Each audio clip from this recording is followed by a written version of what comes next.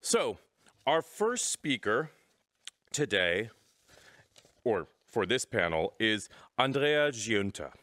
She's a writer and a curator based in Argentina.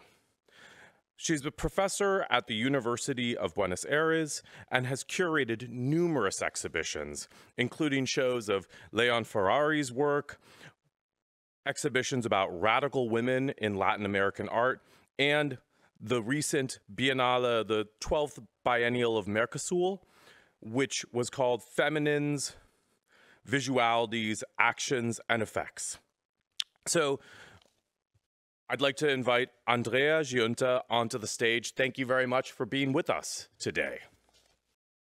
Uh, my topic uh, will be not exactly about Fluxus, but about the constellation around Fluxus. And I will be centered in the work of Esther Ferrer.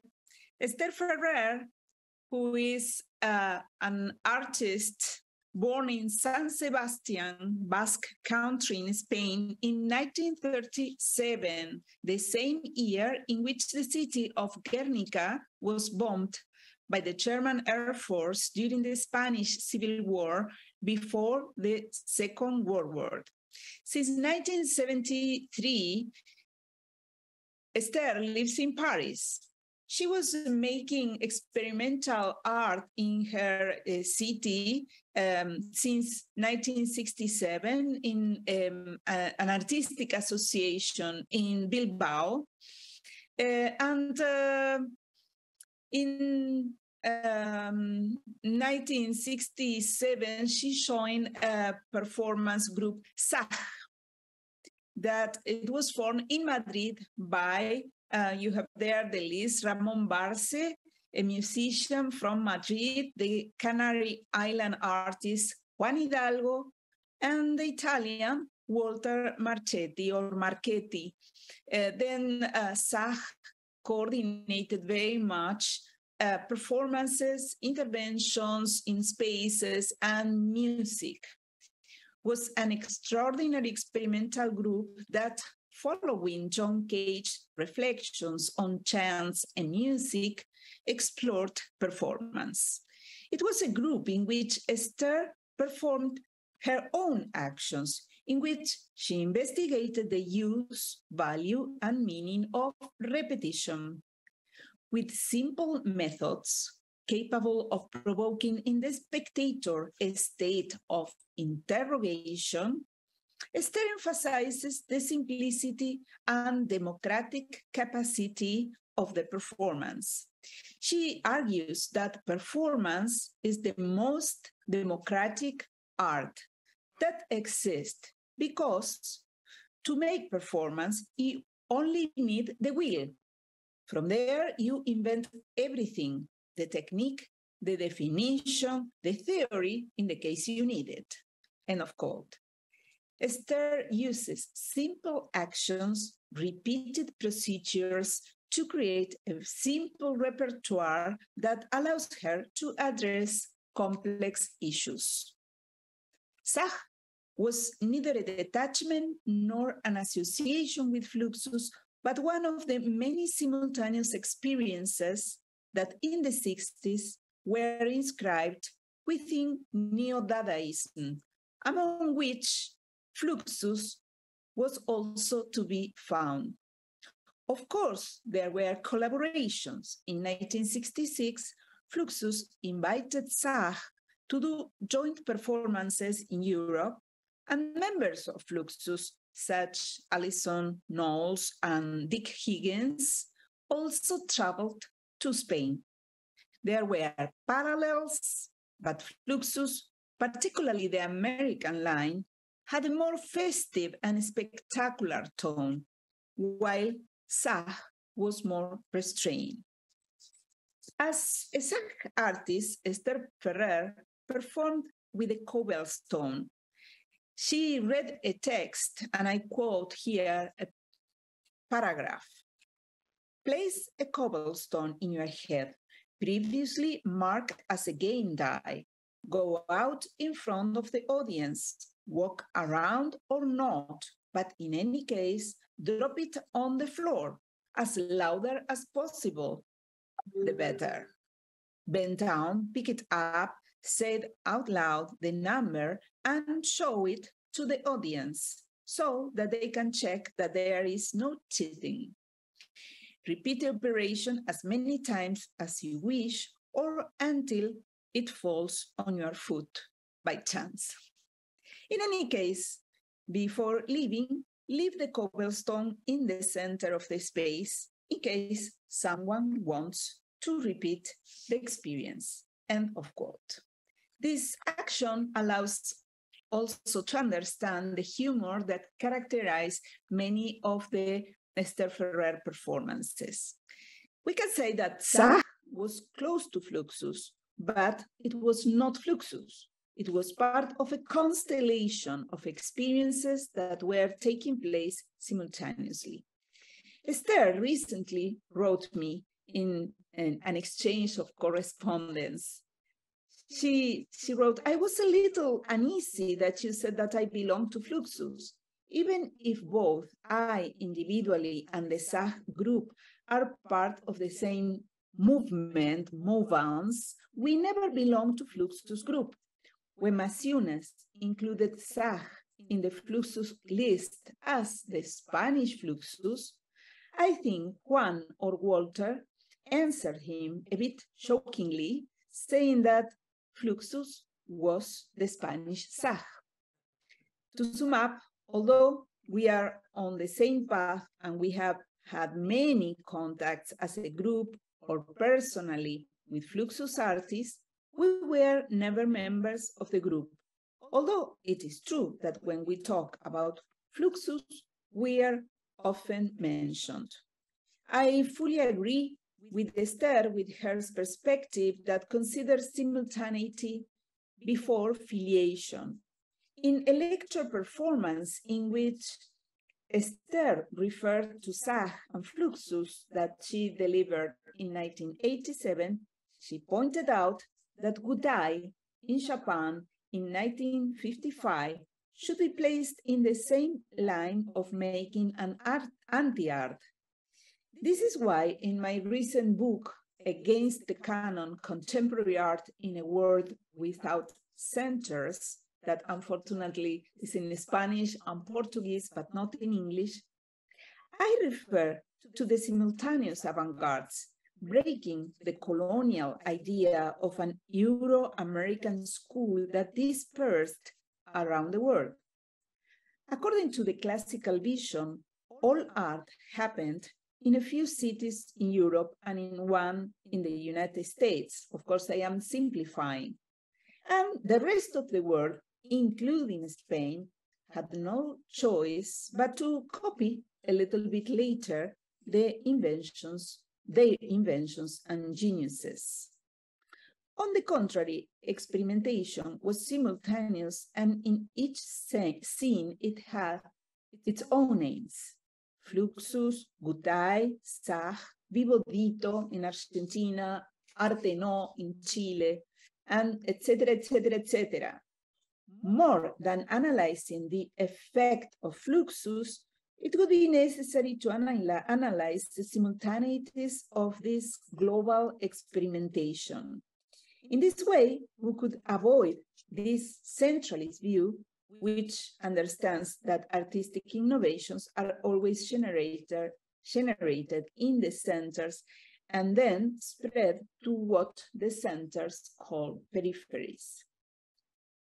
Although Zaj had an international recognition and made several performances in the United States, Zaj was not recognized in Spain, in Spain until a retrospective, a retrospective exhibition held in 1996 at the Museo Nacional Centro de Arte Reina Sofía in Madrid. Between 1964 and 1973, Zaj carried out an intense action of concerts, performances, publications, installations, and postcards. Esther made her first performance in 1965, and since then, ephemeral actions have been one of the main themes in her work. For her, what happened in a performance is not a representation, it is a real event that allows the spectator to take a distance. As we have seen, humor is also playing an important role in her performances. Two of the axes on which Esther had focused on her work are time and space. She has developed the passage of time through her series of self-portraits and uh, also through the performances that she did nude since 1975 until recent years.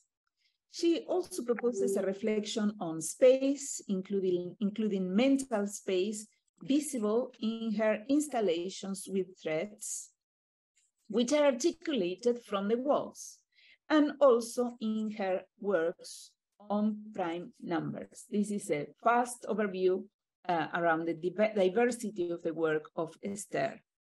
The chair is a constant element in Esther's work, from her participation in Zaj to the present. In several interviews and texts she wrote, uh, Esther refers to the chair as an element that was part of her childhood experiences, a constant element in her life, a unit of meaning. The Zaj chair, chair proposes that the viewer sits and stay in the chair until death do them part. The impossibility of the fact introduces again this feature of humor to which we already refer.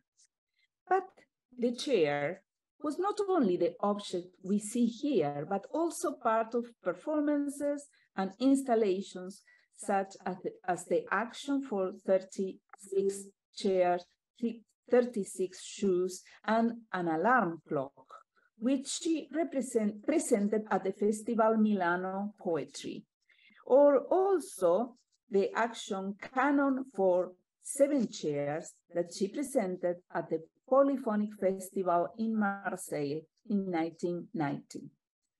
But let's go now to the issue I am interested in addressing, how this conceptual chair, which intervenes in some performances, takes a feminist turn, which it is, is what I am interested today to analyze. Esther identifies herself as a feminist artist. She regularly developed her arguments through drawing, uh, writing, through criticism, but she also did it in some works in which the open meaning was anchored in a precise one, in violence against women. Means that uh, from the Zaj chair, it was more undetermined meaning, but from these installations, uh, it was more direct. She made an installation in 2016, we will see that, focus on the femicides in Spain. And with the same agenda, but uh, activated by femicides in Argentina, Esther's work arrived to Buenos Aires in 2021, when we were just emerging from the pandemic.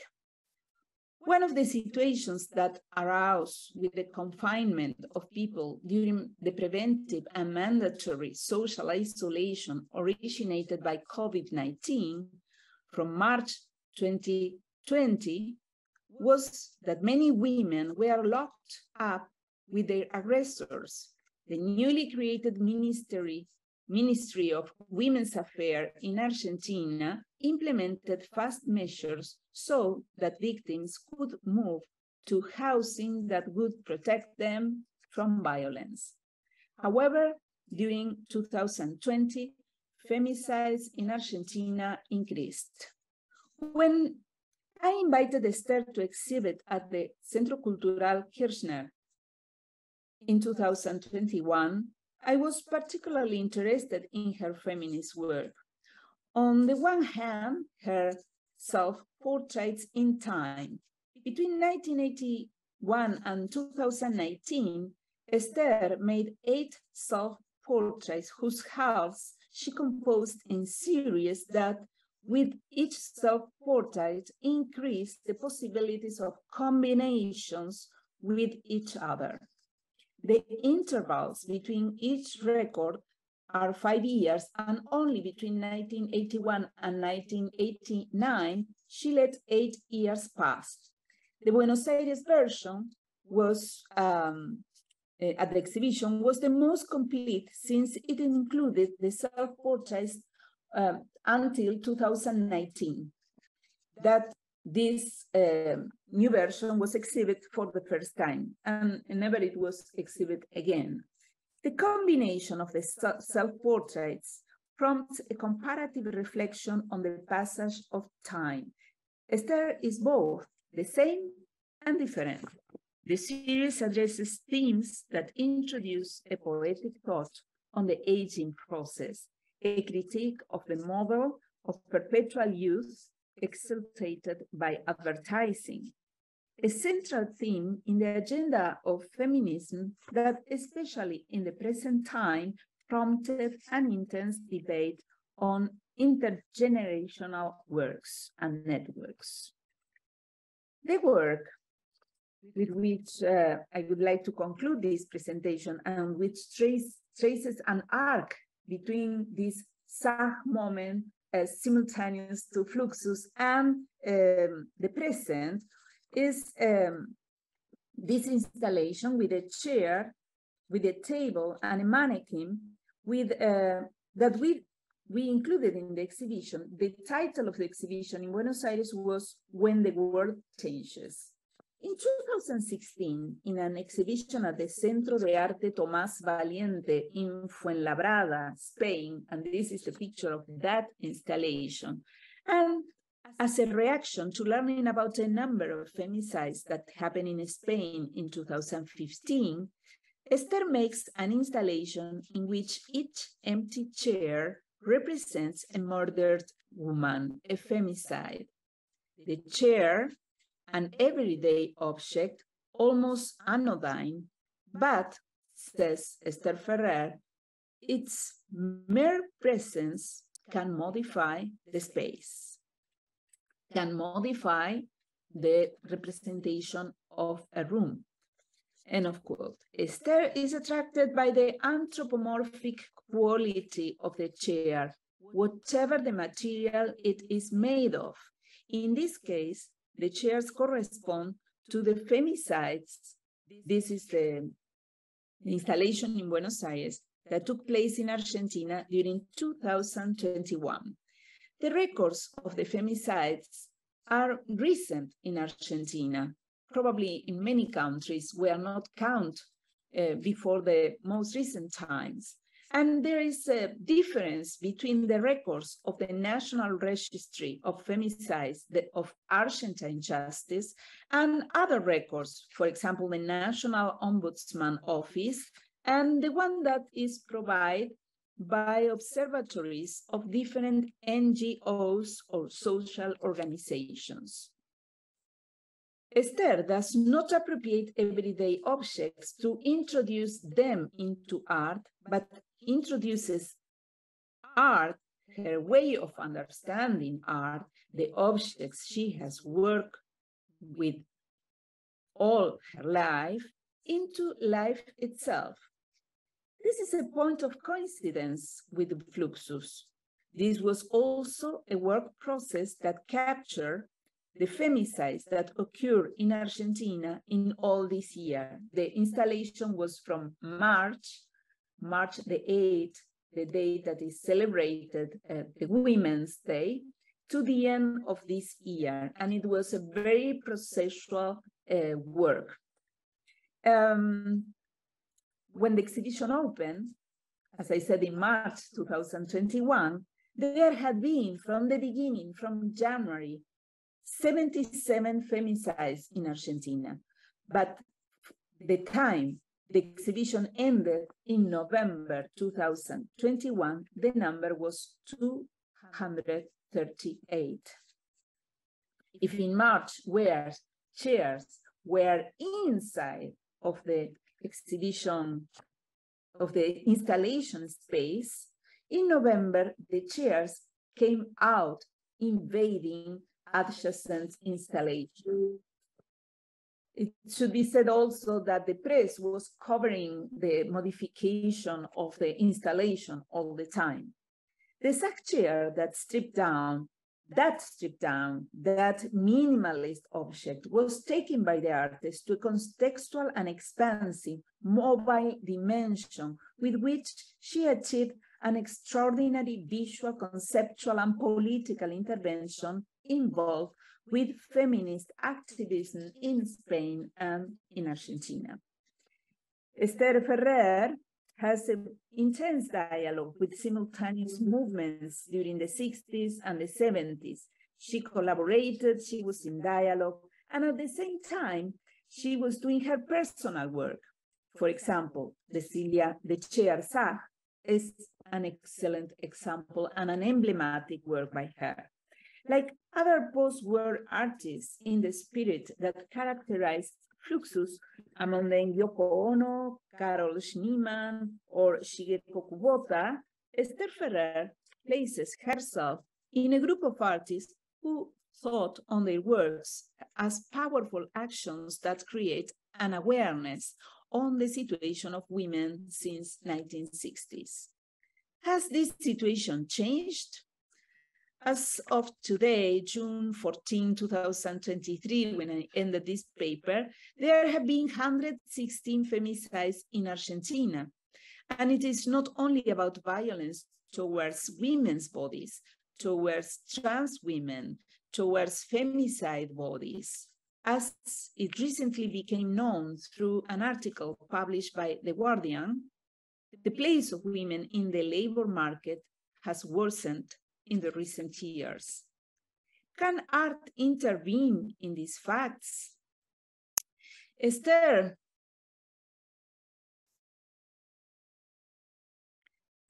Esther's work in Buenos Aires expressed in visual form with an extraordinary, powerful image what is happening in the country the media, the mass media, the newspapers reproduce the work in its process at different moments.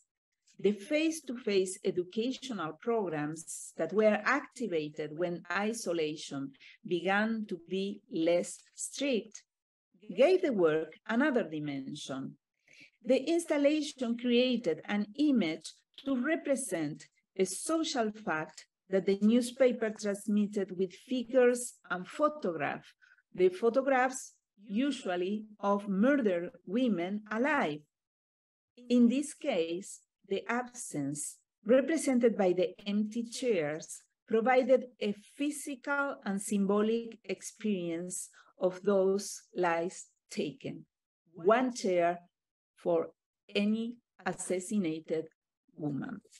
In this sense, like Yoko Ono, Schneemann, or Kubota, Esther Ferrer imbued experimentalism with a political dimension that acts in the present. Thank you.